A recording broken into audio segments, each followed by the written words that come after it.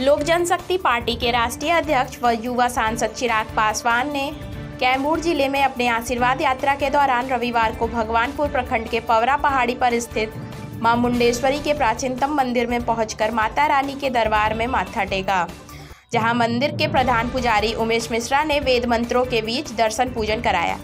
मुंडेश्वरी आगमन पर उन्होंने थोड़ी देर के लिए प्रखंड मुख्यालय चौक पर रुके, जहाँ दिल्ली के प्रदेश लोजापा युवा अध्यक्ष डॉक्टर विकास कुमार सिंह के नेतृत्व में सैकड़ों कार्यकर्ताओं ने फूलमाला के साथ गर्मजोशी से उनका स्वागत किया। इसके दौरान उन्होंने मुख्यालय चौक स्थित डॉक्टर भीमराव अंबेडकर और स्वर्गीय जमुना बाबा की प्रतिमा पर माल्यार्पण किया। देखिए हमारे संवाददाता अजय सिंह की रिपोर्ट।